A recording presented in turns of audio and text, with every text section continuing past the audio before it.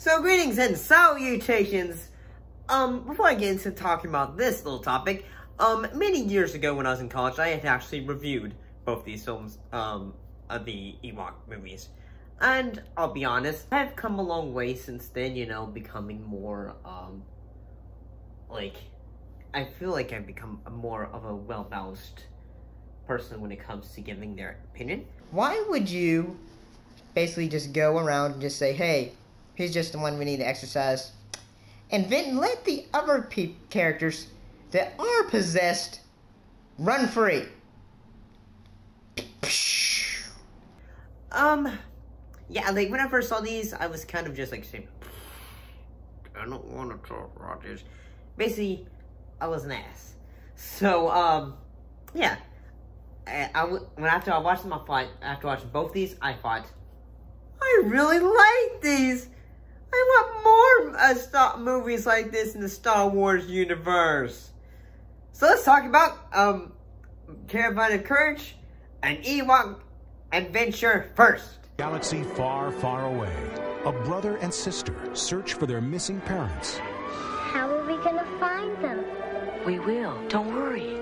And fate leads them to the magical Ewoks. We help. This film was directed by jo this film was directed by John Korty and story by George Lucas. And what happened in it? One, the story, uh, two young kids are, um, you know, trapped on the moon of Endor, and they're trying to find their parents, while at the same time, uh, becoming friends with Ewoks, who try to help them go on an adventure to try to rescue their parents.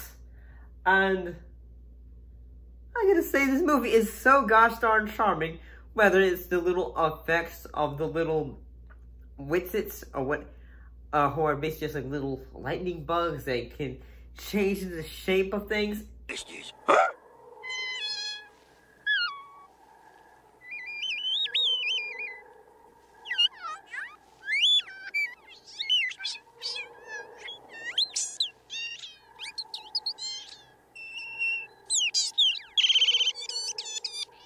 It, and it just gives me so much joy. It, this movie gave me so much joy to watch. It, it feels like something that you would just like. You know, I feel like say this is a film that should get more love, whether it's the moments of you know like at the at the beginning of the film when we see like say E Wicket I believe when he's flying on his pair on his pair hang glider looking over and he's gonna say hey down there and all that it's just so gosh darn charming and heck, even uh, George Lucas said he had kind of like saying like, I hate the Star Wars Holiday Special. Whip, whip, stir. Come on, faster all together now. Cooking can be fun. Stir, whip, stir, whip,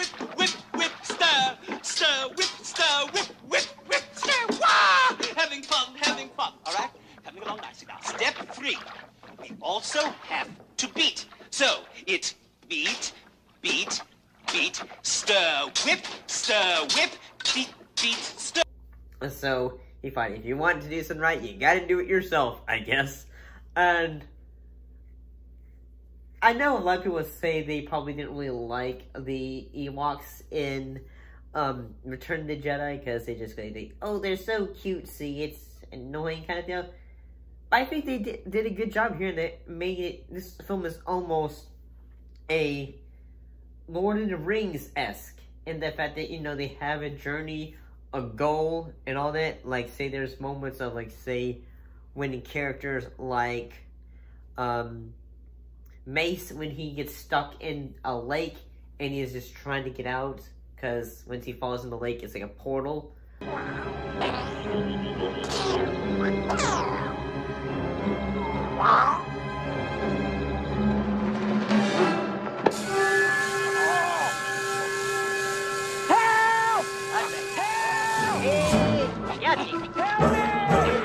Underwater portal, which, like, this is more of a fantasy film, on which it makes me think, why can't we get more of those in a Star Wars universe? it's so fun because the creature designs are really good. Like in this case, the um the uh the Gorax, who basically is just like this giant um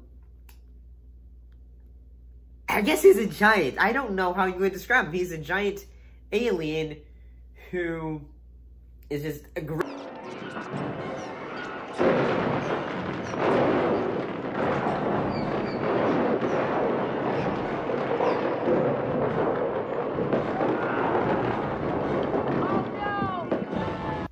actually really like all the little moments of this film, like whenever like they are just going on the adventure and um, basically going say, "A rock, what's a rock gonna do?" And it's basically almost like a compass.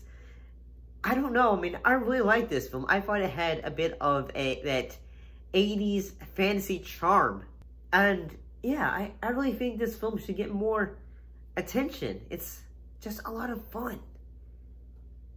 And I don't know.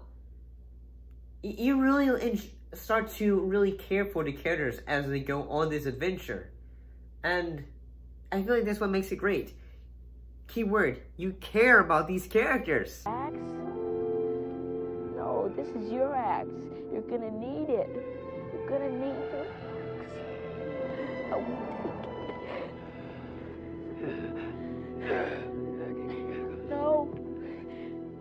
please don't die. No.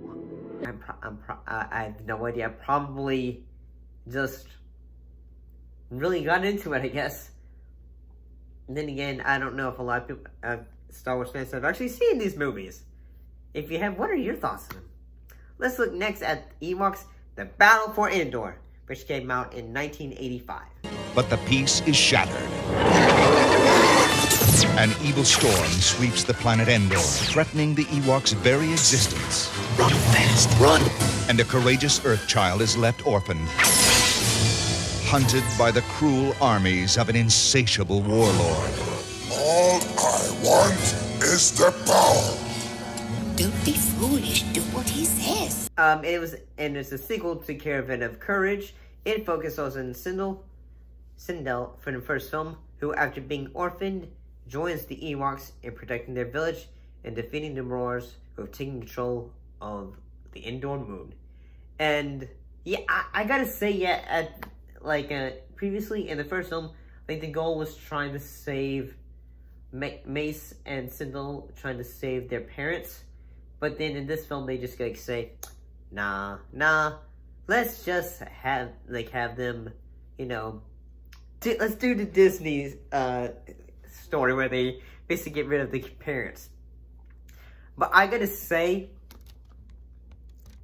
some of the things that actually make this film really honestly work is the character of Wilford Brimley as Noah, and as well as the character of Tarek, Tarek, who is basically this little fast little um, fuzzball. I don't know what kind of alien you'd call him, but he is so gosh darn he sort of like say has the like charm of like the Ewoks in that you know he doesn't really talk much, but he goes like say oh or go like uh, uh, uh, and because there's see some some cute moments like where he is like when they when Noah Wicket I mean when Wicket and Cindel first meet Noah he's like say say oh you you can uh here's your dinner um, Turk, but don't you be giving it to those those two outside.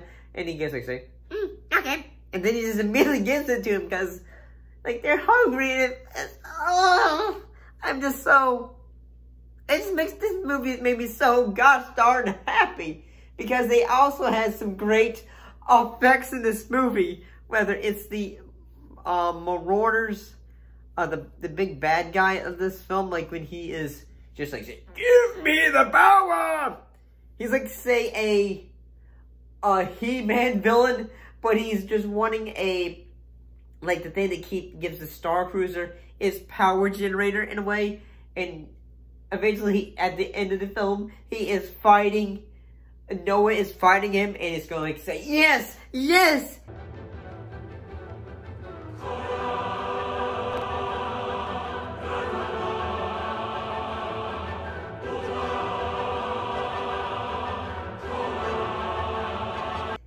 Because one of the things that I really like is the fact that Wilford Brimley's character, Noah, like there are so many charming moments in the fact that he's character is basically an old hermit, but he eventually opens up to uh, Wicket and Cindel.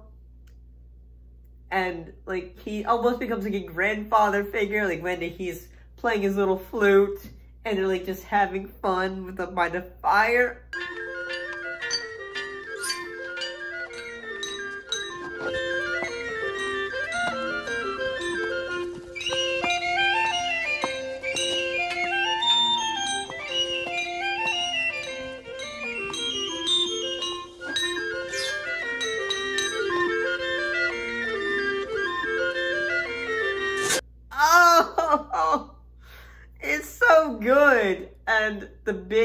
Like, say the moments, like, say where the witch is going to say. And she's like, say, like, say, now a child, where is the crystal? It, it's, I really like this. I really did. There was even, there was even a moment when they are, um, like when, like, say, Turk is just like going really fast because that's the thing he can do is just really going really fast. Apparently there was going to be a spin-off of his character, but it didn't happen because, well, um, I think it was like the animation person at uh, Lucasfilm finally said, well, droids didn't do well.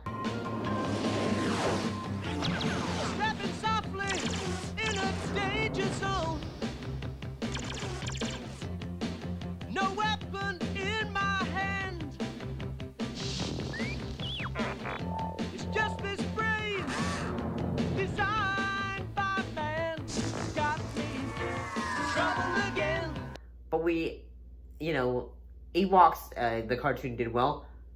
Um, nah, we're not gonna do any more animated shows in a galaxy far, far away.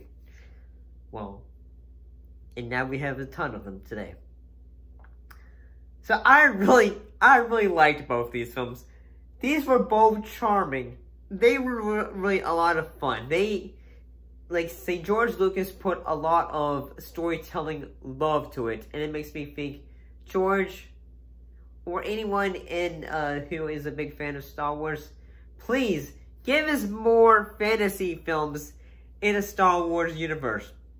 Give us like say like um like a comedy film, a magician, like a, a a guy who's pretending to be a Jedi, but eventually he realizes like say, under starts to understand the uh reasons why people need Jedi or something. I don't know. I. I would love more fantasy films in the world of, in the world of, in a galaxy far away, because I feel like that's what this Star Wars needs. More things that try to push the envelope or try to do something new. I really like these, even though sadly, after Disney bought uh, Star Wars, uh, these these films were no longer considered canon. But I really gotta say, check these out. They're on Disney Plus, so if you have it, check them out. See you next time.